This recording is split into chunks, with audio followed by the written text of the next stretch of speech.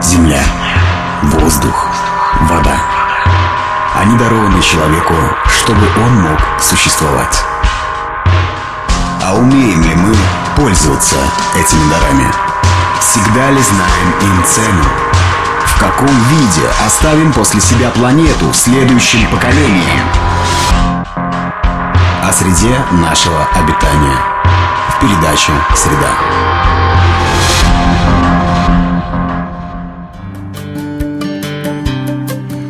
Здравствуйте, уважаемые радиослушатели. В эфире эколого-познавательная информационная передача «Среда» и я ее ведущий Анатолий Тиханов. Жара, июнь. Природа и люди пребывают в томной духоте.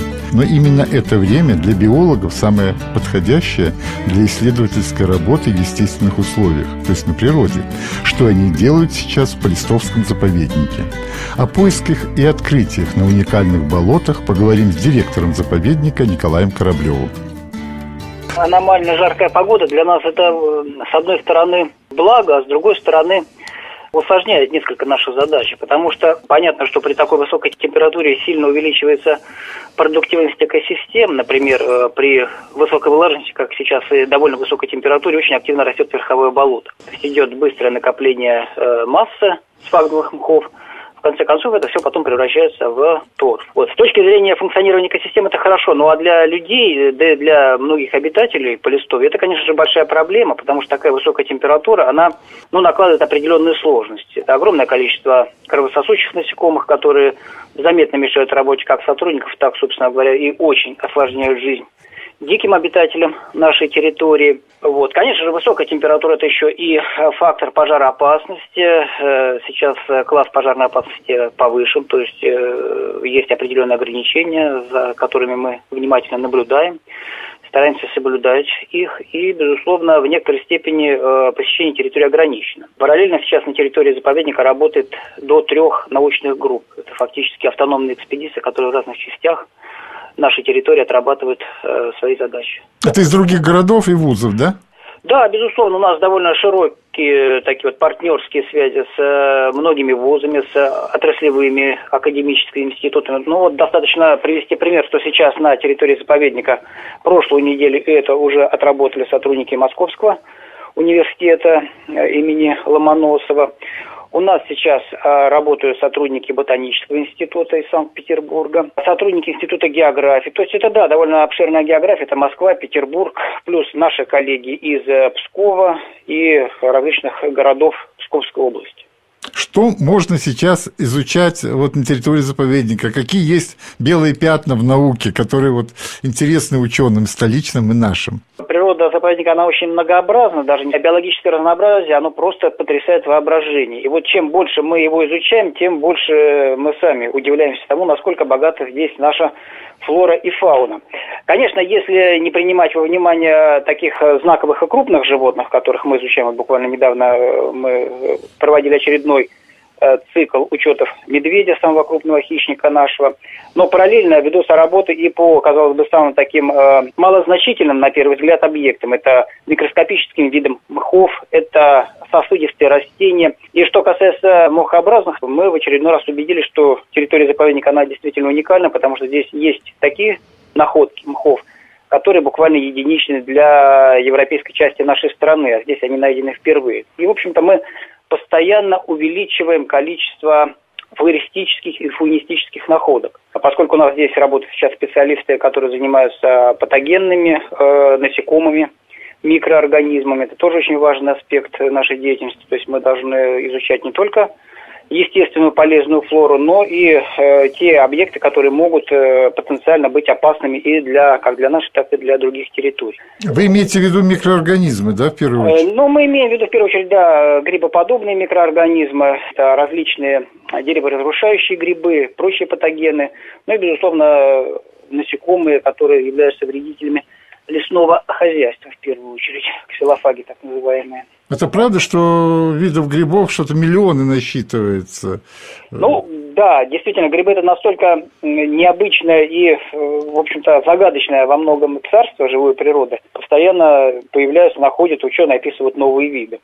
Вот у нас здесь работают очень крупные специалисты, как из Петербурга, так и из Москвы, которые разные группы грибов изучают. В скором времени мы подведем э, некий итог промежуточной этой работы. Вот сейчас мы в этом году уже опубликовали аннотированный список одной из э, групп грибов, они называются агрикоидные грибы.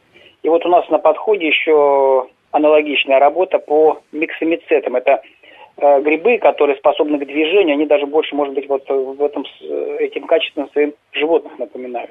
А это в буквальном смысле передвижение. Грибы э, сближают с царством животное два, в общем-то, таких э, важных очень признака. Это способ питания гетеротроф, то есть грибы питаются готовой органикой, они что-то или кого-то едят и тем самым добывают энергию себе. И второй аспект – это действительно то, что некоторые э, грибы способны к передвижению. То есть это вполне активная форма движения, такие как, например, передвигаются простейшие животные, как амеба, например. Но размер этих грибов крупный, они видны невооруженным глазом даже. С какой скоростью они вообще передвигаются? Ну, в общем, конечно, здесь речь идет о не, очень небольшом э, масштабе перемещения в пространстве. Да, Скорее, понятно, там, может конечно. быть, речь идет о миллиметрах каких-то угу. считанных, но сам факт того, что это подвижный организм, это уже очень, э, в общем-то, интересное наблюдение и сильно расширяет наше знание об этом царстве живой природы. А, они могут э, э расти только вот в таких условиях, как вот ваш заповедник, специфичные, да, должны быть болотные условия? Ну, вот вы, вы знаете, вот что касается отдельных видов, в частности, вот подвижных грибов, миксомицетов, о которых мы говорим, э, расти они, безусловно, могут не только на территории заповедника, они могут расти и за его пределами, но просто территория заповедника это как бы такая вот модельная площадка, модельный участок, который наиболее хорошо изучен. Вот поэтому мы, естественно, и судим о, об этих находках в основном на территории заповедника. Но если есть где-то аналогичные условия, а они, конечно, где-то могут быть, то там тоже логично ожидать э, наличия именно этих видов грибов. Виды грибов сколько? Десятки, сотни видов, вот на ваш Нет, взгляд? Нет, конечно, речь идет о сотнях, о сотнях э, даже, даже. даже тысячах видов. О тысячах, понятно. Вот, да. Что, да, поэтому не случайно из Москвы, из Питера приезжают, чтобы изучать их. А иностранцы интересуются? Не было никаких заявок приехать. Ну, я понимаю, сейчас такое время не очень-то для иностранцев, но все равно они ведь тоже должны интересоваться. У них же болот-то очень мало осталось. Да, вы совершенно правы. Вот как раз-таки основной интерес зарубежных исследователей к нашей территории – это фактически огромный, наверное, крупнейший в Европе ненарушенный водно-болотный массив. В Европе таких объектов практически не осталось природных, и поэтому вот такой эталонный большой участок, он, конечно, очень интересен с точки зрения наблюдения, причем не разовых каких-то э, экспедиций, а именно вот такого систематического многолетнего исследования, то, что называется мониторингом. Сейчас очень много говорят о смягчении негативного влияния человека на климат, в первую очередь за счет того, чтобы было меньше выбросов парниковых газов, углекислого газа в частности.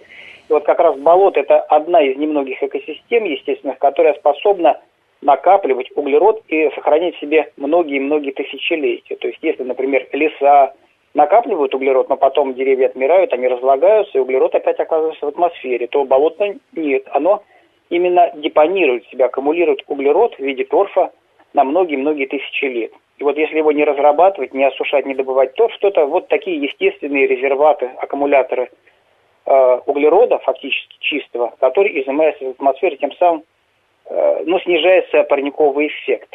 То есть благодаря вашим болотам, ну, нашим болотам, вот, может быть, и климат такой особый, да, в Псковской области, среда, она была бы хуже бы, если бы там добывали торф, как хотели промышленную разработку торфа вести, вы, наверное, знаете, там уже и поселок построили, но потом отложили это все. То есть это такое благо, которое мы, может быть, не оцениваем еще, да? Да, вы знаете, это действительно очень э, большой плюс э, нашей области, в частности, потому что мы располагаем такими богатствами ненарушенных болот. Сейчас это уже переосмысленно давно, что болото это не только источник э, каких-то полезных ископаемых, возобновимых, даже таких как торф. Это объект, который ценен сам по себе. То есть вот благодаря такой так называемой экосистемной услуга, то есть болото нам оказывает большую услугу в том смысле, что оно забирает из атмосферы вот эти вот парниковые газы, в частности углекислый газ. И поэтому наличие таких объектов в Псковской области – это, конечно, большой плюс, и в дальнейшем, я думаю, область от этого будет только выигрывать еще больше. А какие-то можно цифры привести? Сколько газа она может забирать из атмосферы? Или это трудно Ну, посчитать? такие есть экспертные оценки, да. Конечно, каждый болотный массив надо обследовать отдельно. Сами эти исследования, они довольно дорогостоящие, очень технологичные. Там нужны точные газоанализаторы, которые будут в режиме реального времени отслеживать эмиссию, то есть выброс э, каких-то газов или поглощение, наоборот, ассимиляцию.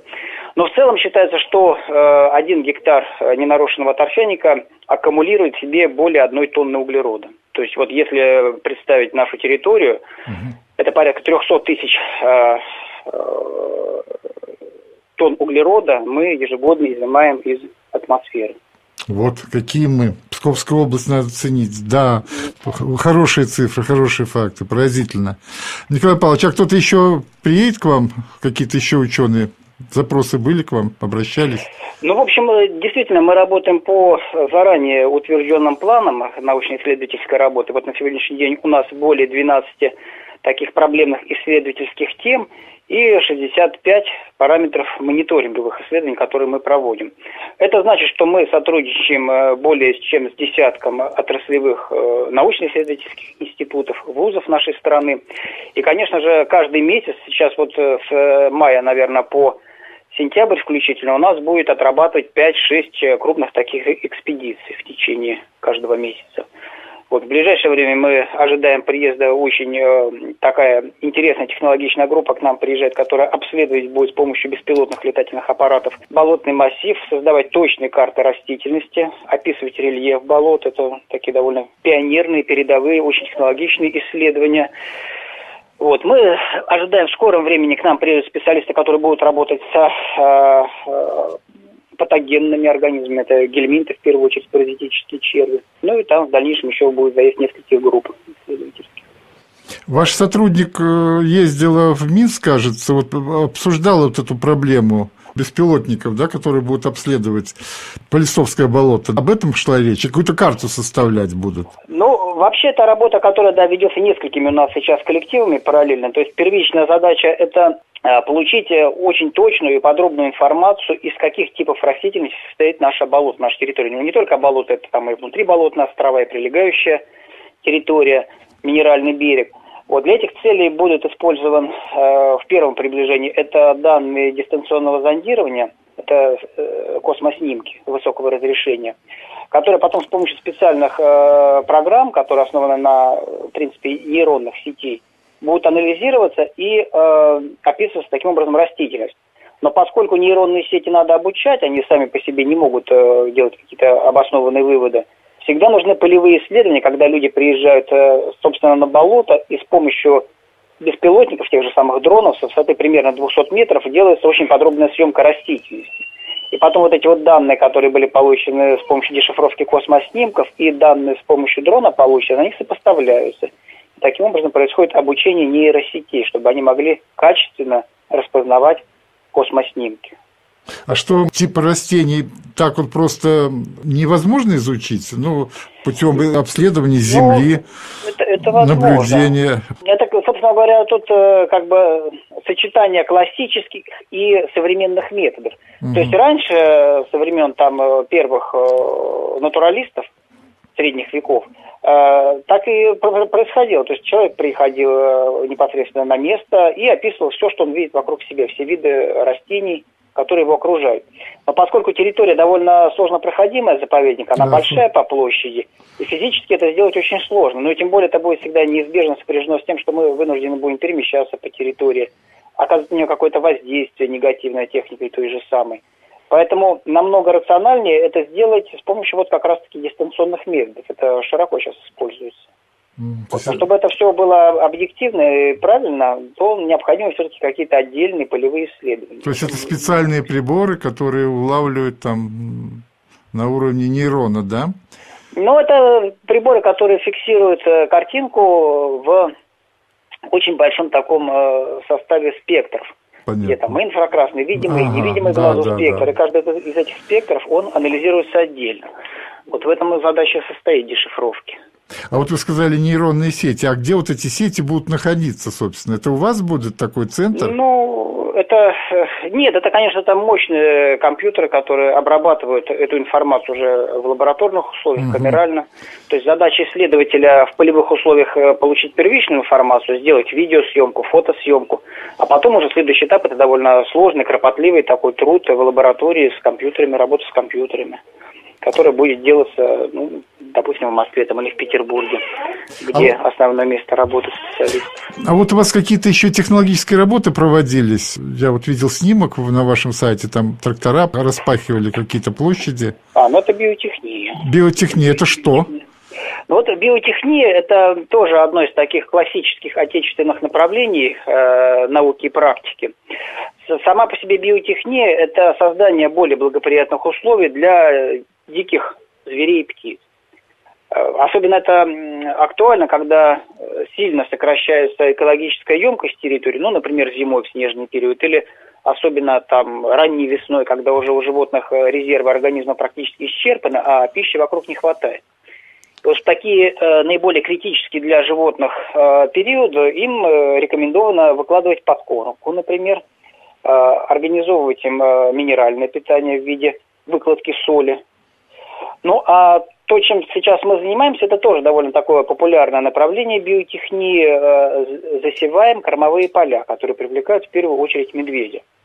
Вот во второй половине, даже в конце лета, у животных очень активный такой период нажировки, когда им надо накопить энергию для длительного зимнего сна. И вот в этом случае овсяные поля, они привлекают всегда медведей, а наша задача изучать таким образом э, популяционную группировку этого хищника. Когда медведи выходят на поля, там наблюдается большая концентрация зверя, мы можем их визуально наблюдать, можем определять, сколько среди них самцов самок, это полувозрастной состав, смотреть, какого возраста звери выходят, ну и э, контролировать таким образом э, популяционную группировку.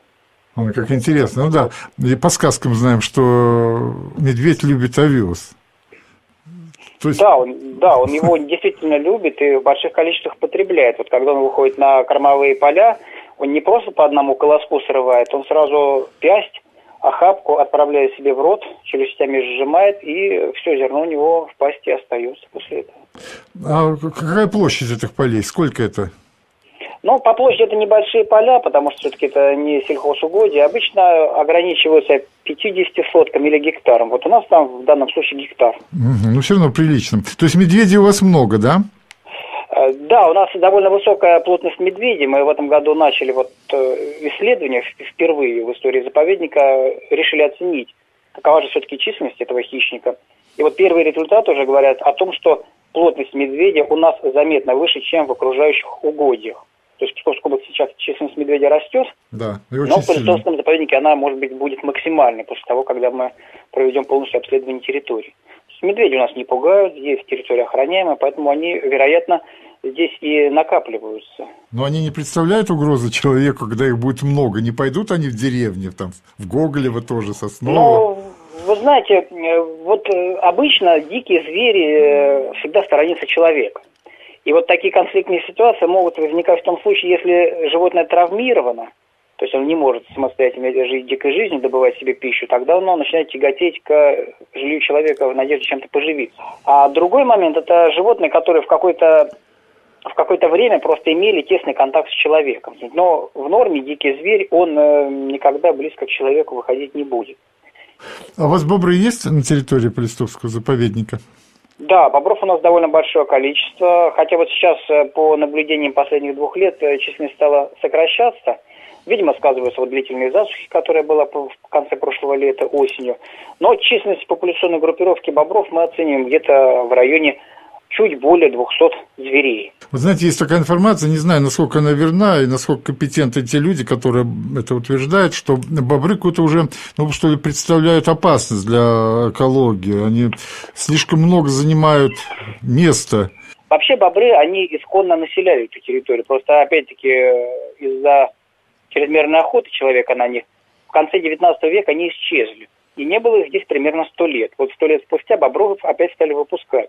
Если бобр живет на территории, которая не используется активно человеком под сельскохозяйственную деятельность, там какую-то городскую застройку, то его нахождение в природе скорее благо, потому что бобры, они, они регулируют сток воды, то есть э, водоемы не осушаются. Они даже в самый там, жаркий засушливый период будут в какой-то мере наполнены водой.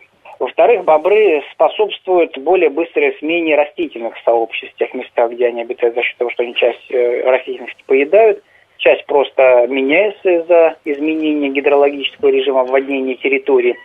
И таким образом их считают ключевыми экосистемными инженерами. То есть бобры преобразуют окружающий ландшафт под себя. Но в том случае, если э, речь идет о какой-то сельскохозяйственной деятельности, и здесь бобры могут, конечно, скорее навредить, чем помочь. Это ну, повреждение и растений, да, и поля могут залить. Да, да, вот об этом речь идет. Ну, у вас, наверное, таки, вот такой проблемы нет с бобрами. Ну да, для территории заповедника это, конечно, абсолютно не актуально, даже более того, можно сказать, вот эти вот территории, которые когда-либо осушались человеком, например, торфяники, в том случае, если бобры на них поселяются, вода может вновь появиться, и э, такой осушенный торфяник может со временем стать болотом, то есть скорее благо. В тех случаях, если, конечно же, речь идет о хозяйственной деятельности человека, то бобры здесь могут и мешать. Спасибо, Николай Павлович. Должен еще заметить, что полистовские болота все активнее осваиваются туристами. В первую очередь им хочется, конечно, увидеть жизнь животных в естественных условиях. Иногда им это удается. Наше время в эфире заканчивается. Всего доброго. Берегите природу.